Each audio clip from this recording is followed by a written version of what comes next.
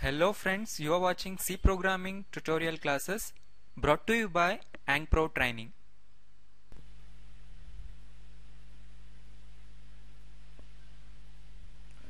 Well students, in this class we'll be learning all the operators in C and we'll perform some programs to demonstrate all those operators. First let's understand what's an operator. An operator is a symbol which operates on a value or a variable, right?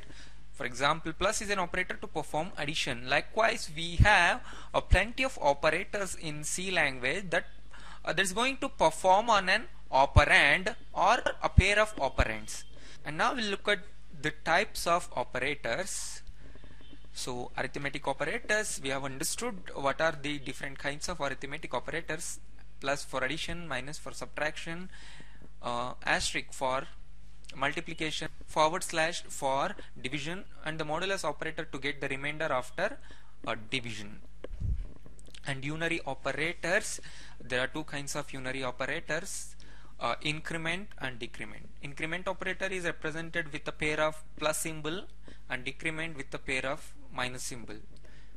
Relational operators are also there lesser than, greater than, lesser than equal to, greater than equal to, equal to and not equal to. Logical operators, so there are logical conditions to check and we use a double ampersand for logical AND operation and double pipeline for logical OR operation and for logical NOT uh, there is an exclamatory symbol and at last the bitwise operators so these are the bitwise operators. Starting from the left this is bitwise AND or binary AND. This is bitwise OR. This is bitwise XOR and a pair of a pair of less than symbols represent the bitwise left shift operator. And this is bitwise right shift operator and this is ones complement. So now we'll learn a program demonstrating both the increment and decrementing operator alright so demo of increment and decrement operators. So now I'll declare two variables a and b and two more variables uh, for storing the result of increment and decrement right? Or the four variables are of the type integer and now let's go and perform uh, the increment and decrement operator. So first I'll use the variable increment. So inc for increment. This variable to store the result after the incrementation performed on a variable a right? So let me initialize the variable a uh, with 5 so now A has got the value 5 and B has got the value 8. Okay. I'll put the increment variable increment operator here uh, before the variable. So what it does is the increment operator will increase the value of A by 1 and it's going to be stored in the variable inc. Okay.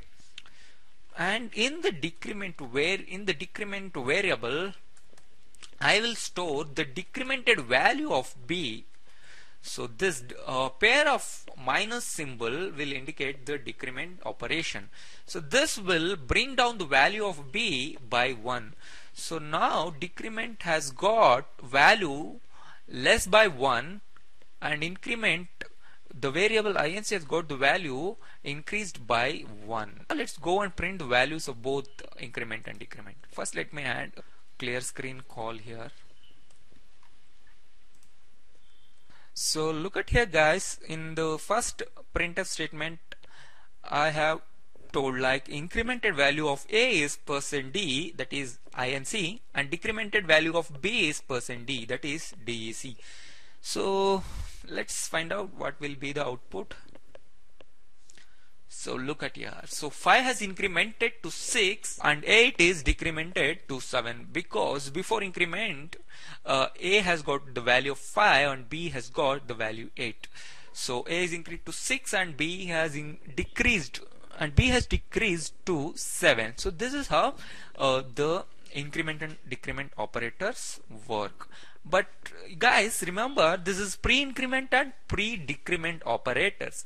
When we use the increment operator before the variable it's going to perform pre-increment. That means first the incrementation operation uh, will happen.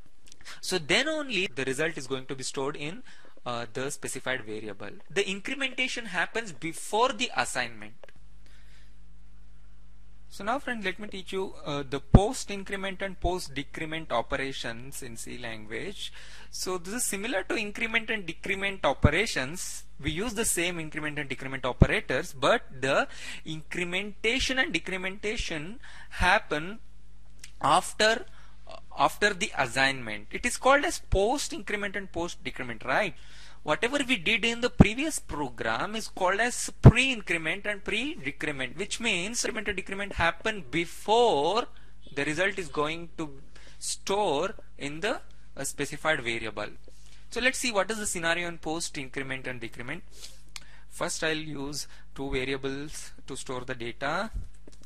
Int a equals to 5 and b equals to 8 right I will now will use a post increment. So pi for post increment and pd for post decrement. Right?